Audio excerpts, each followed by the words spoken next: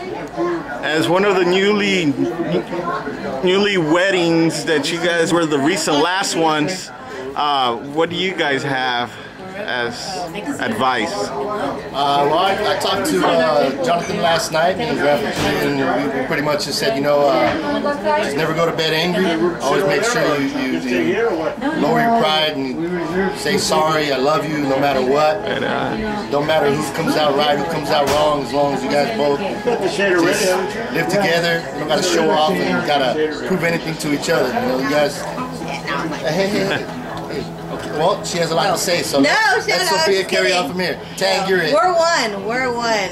Whatever you're saying, I agree. go ahead, Sophie, say it. Well, Um, just well, to love each other and enjoy making up when you do.